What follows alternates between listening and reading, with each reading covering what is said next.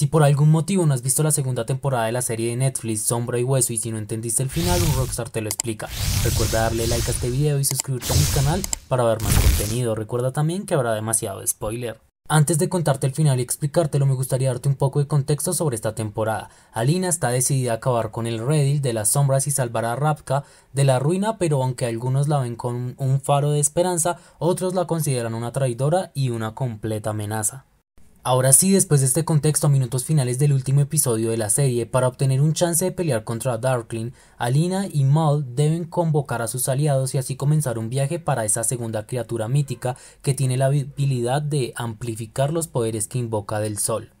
Y con la ayuda de Stonehome y toda su tripulación localizan al Sea Ship.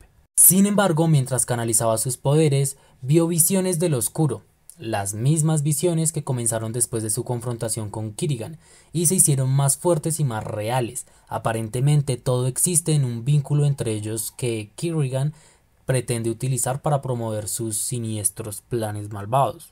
Con otro refuerzo en la mano, el personaje principal de Shout and Bone y sus aliados se cuelan en la sombra para destruirla, pero los poderes de Alina no son suficientes como le recuerda Kirigan.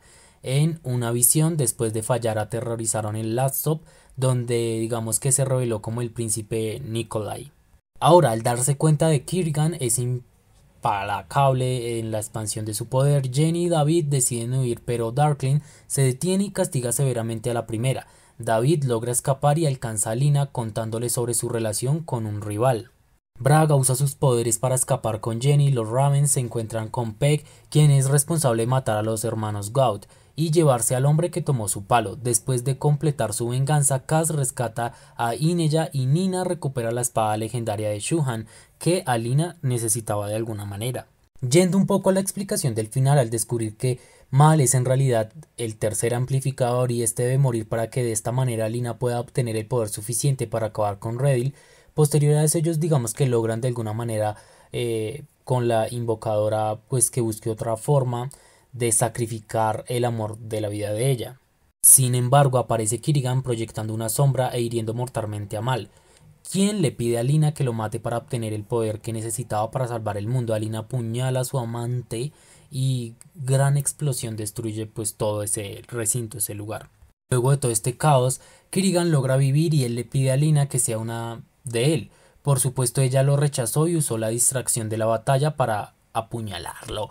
De alguna manera, con la espada de Nesher, Zoe y Jenny decidieron incinerar su cuerpo para asegurarse de que pues él no va a regresar más. Según los libros de Grisby, Black tiene varias formas de regresar, pues supuestamente como lo dicen.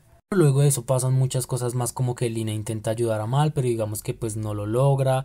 Pero por otro lado, Genia pierde a David, Nina consiguió un indulto pero no logra liberar a Matías y Nikolai logra ver en el espejo a un monstruo sobre él luego de sentir un dolor en su hombro herido, lo que podría significar de alguna manera que se está convirtiendo en una de esas criaturas. Ahora Cass les revela a los Ravens que hay una sustancia llamada Yurda Pranim que aumenta el poder de Grisha y que los Feathers le usarán como arma. Durante la coronación de Nicholas y Alina, una mujer de Ferran, admitió que esta droga que le provocó como convulsiones y tos con sangre. Pero Rockstar, deja tu opinión en los comentarios, recuerda darle like a este video, suscribirte a mi canal para ver más contenido, recuerda también unirte a los miembros del canal y seguirme en mi página de Facebook y mi Twitch, un Rockstar Resumen, no haciendo más, hasta pronto.